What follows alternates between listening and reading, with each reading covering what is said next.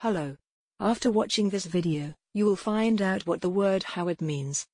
Queen of England is the fifth wife of Henry VIII who was accused of adultery and executed. English actor of stage and